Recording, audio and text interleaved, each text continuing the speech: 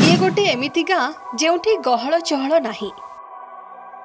ସାଇ ଭାଇ କି ବନ୍ଧୁ ବିରାଦରୀ ନାହାନ୍ତି।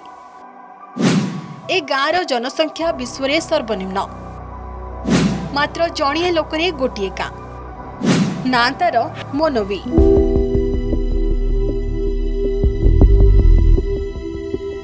ଆମେ ପ୍ରତ୍ୟେକ ଦିନ କିଛି ନା କିଛି ଅଜବ କଥା ଶୁଣିଥାଉ। ସେହିଭଳି ଏହି ତାଜୁବ କଲା ଭଳି ଖବରଟି ଆପଣଙ୍କୁ ବି ଆଶ୍ଚର୍ଯ୍ୟ କରିବ। ଶୀର୍ଷକ ଶୁଣି ଆଶ୍ଚର୍ଯ୍ୟ ଲାଗୁଥିଲେ ବି କଥାଟି ସତ। ଏ ଗାଁରେ ବାସ କରନ୍ତି ମାତ୍ର ଜଣିଏ ଲୋକ। ଆମେରିକାର ନେବ୍ରାସ୍କା ରାଜ୍ୟର ମୋନୋଇ ଗାଁ ଏବେ ଏହି ଏକକ ଲୋକ ସଂଖ୍ୟାକୁ ନେଇ ଚର୍ଚ୍ଚାରେ।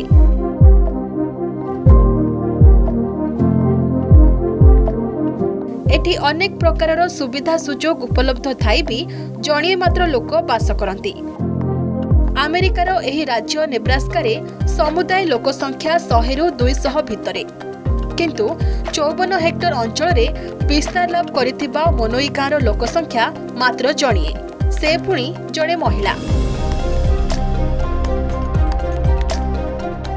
ଛୟାଅଶୀ ବର୍ଷୀୟ ଏଲ୍ସି ଆଇଲର ଗାଁରେ ଏକାକୀ ଅତିବାହିତ କରୁଛନ୍ତି ଜୀବନ। ତେବେ ପ୍ରଥମେ ଏଲ୍ସି ସ୍ୱାମୀଙ୍କ ସହ ଏଠାରେ ରହୁଥିଲେ।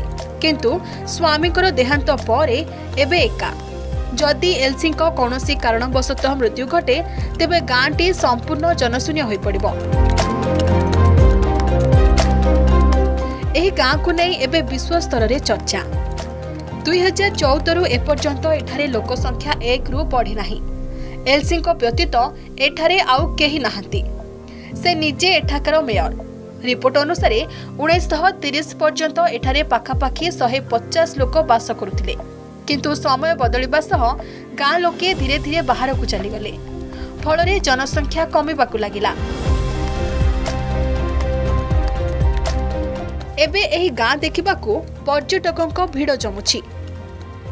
ଖବର ତ ପାଇଲେ ଏବେ ସମୟ ପାଇଲେ ଏ ଗାଁ ଆଡ଼େ ବୁଲି ଆସିବେ। Bureau report Argus news.